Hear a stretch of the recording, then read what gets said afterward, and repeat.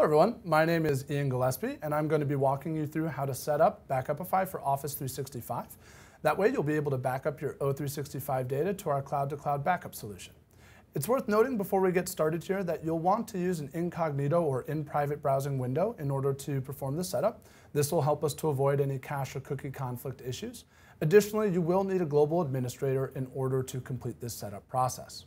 So the first thing I'm going to do is navigate to that incognito window and go to backupify.com. Once there, I'll go ahead and click Try It Free, and I'll select Office 365. It'll ask if I'm a global admin. I'll select Yes, and it'll ask if I'm currently working with a Datto partner or MSP. I'm not today, so I'm going to click No, but feel free to select whichever one makes most sense to you. We'll go ahead and click Next, and I'll fill out the appropriate information here. The business email will be the email I use to sign into the platform.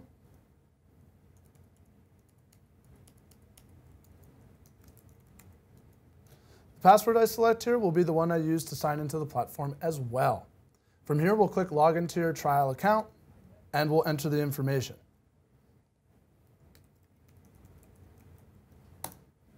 Our system will require you to enter this information twice, so we'll do that one more time. At which point it'll prompt you to set up two-factor authentication.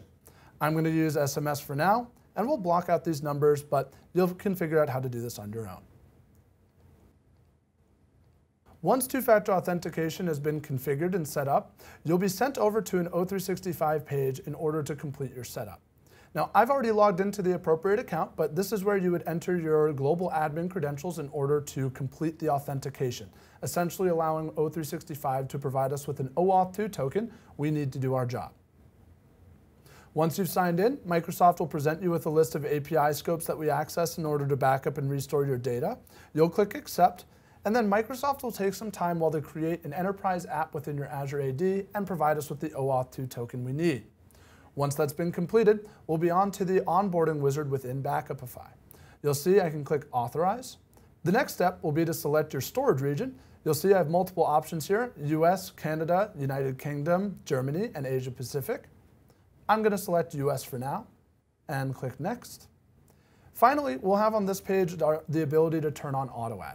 Now, AutoAdd for O365 will automatically pull in all of your SharePoint, Teams, and user-based content, meaning Exchange and OneDrive. So I can leave this on and click Finish, at which point all the data would be pulled in. Or I can turn this off and selectively add people who I'm interested in, SharePoint sites, etc. Whether you're trying to limit your license count or perhaps just test a few items specifically, it's really up to you how you want to do this. Many organizations, when they're already planning to use Backupify, leave AutoAdd on. Those who are just getting their feet wet tend to turn it off and start by just adding a few specific people. Once I click Finish, this will take a few moments in order to provision you onto the appropriate node. Then it may take some time for the AD to load. You'll see that mine loaded almost instantaneously, but if you have a larger AD, this can take up to 15 minutes or so. We can begin to add users, turn auto add on, and then you'll see under the Seat Management tab, we can also go to sites and add SharePoint content and more. From there, you'll pretty much be all set and be ready to have the platform back up your data and perform restores. So this will bring us to the end of our setup video. Thank you very much for your time. And if you have any questions, please feel free to reach out to our support team or read our knowledge base.